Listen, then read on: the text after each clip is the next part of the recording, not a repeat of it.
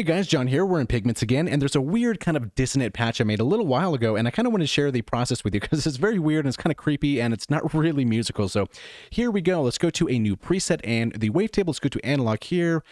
Let's add all our saw waves here. The second one, let's drop this down by an octave. Add full voices of unison and then a lot of detune. So we have something kind of nasty like that. So what we're going to do now is instead of multi-mode, let's go to the comb filter and change from the mode to feedback here. And I kind of set it somewhere around here, and I used a random over here, and let's go to the random settings here. And from Turing, let's go to sample and hold.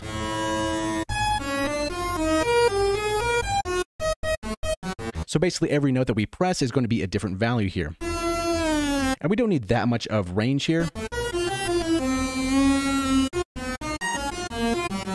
So now let's add a lot of release here.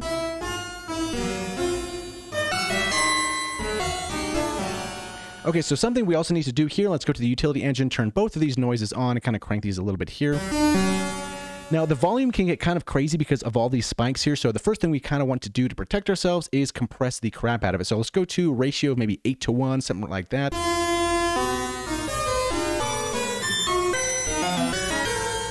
So we kind of have something like that. Maybe a little bit more release might be kind of cool.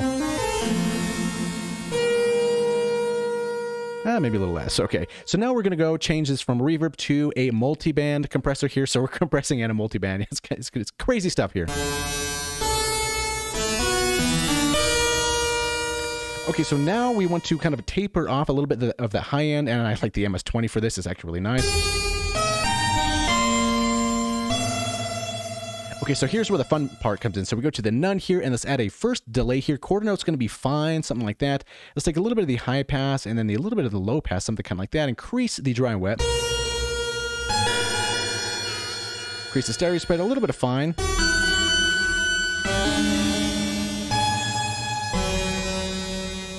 And now for the next effect here, let's go to none here and let's go to a pitch shifting delay. And on the pitch shift, I kind of brought it down something like this and also use the random here. So it's basically going to have a different random delay pitch change on each different note here.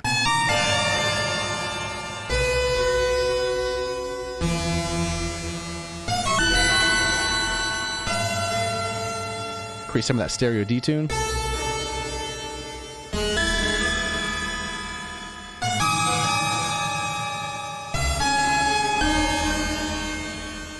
The point is just making it dissonant and weird and kind of just bad sounding, right?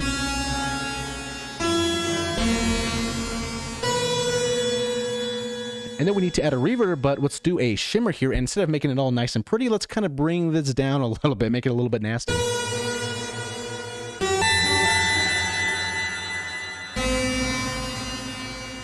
Bring the modulation all the way up, and maybe increase the size a little bit, something like that.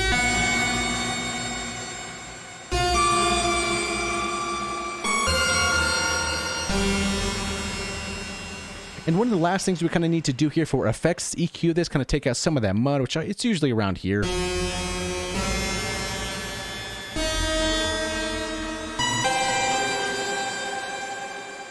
Okay, so what we can do as well here on this frequency, let's use the first macro here to kind of give us a little bit of room, something kind of like this, and kind of bring it up to where it was before.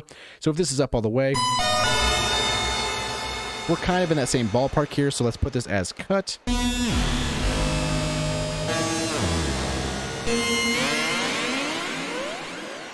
Yeah, you can make some really crazy stuff with that as well here. And what I'd like to do for something as, as well is go to the macro 2 and put it on this cutoff as well, so we can kind of bring it up here. So if we want to darken it as well too, so cut 2.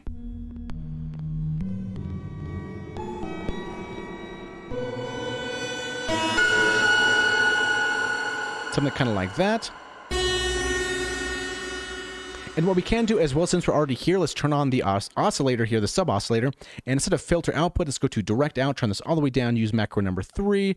This is kind of, I love doing something like this, right? We just have that nice low one if we want it, right? So let's put that as sub here. And then basically for our macro number four, it's kind of standard to do the effects here. So the compression is kind of fine. Let's leave that as it is. And then macro four, let's drag this to the delay. That's 37%, so 0.37, something like that.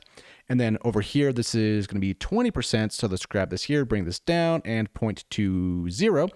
And then for the shimmer, we have 40%. So let's drag it here. And as you guessed it, 0.40, and then turn this knob up here and label this effects.